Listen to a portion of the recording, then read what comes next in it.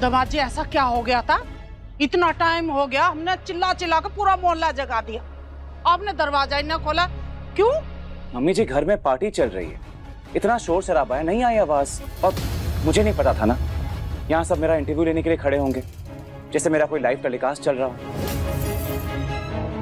अरे आदित्य! अच्छा ठीक है। हम सब परेशान हो गए थे बस। अब चलो जल्दी करो। मेहंदी का समय हो गया है बेटा। आ जाओ।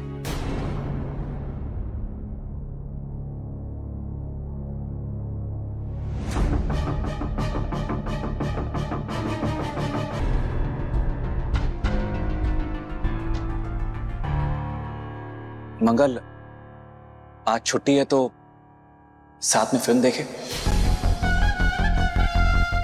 मतलब तुम्हारी पसंद की कोई भी फ़िल्म देख सकते हैं। आप ये सब क्यों कर रहे हैं अदित जी? मेरे लिए जश्न का माहौल। ऑफ़िस नहीं जा रहे हैं। आपने तो एक दिन भी ऑफ़िस से छुट्टी नहीं ली, चाहे कितना ही बड़ा आयोजन हो घर पर। और आज आप रुक कर मेरे साथ फ़िल्म देखेंगे। क्यों अदित जी हमा हमा रुक जाइए। हमा चले जाओ यहाँ से। हम तुम्हारी शक्ल भी नहीं देखना चाहते। हम मेरी बात तो सुनिए प्लीज़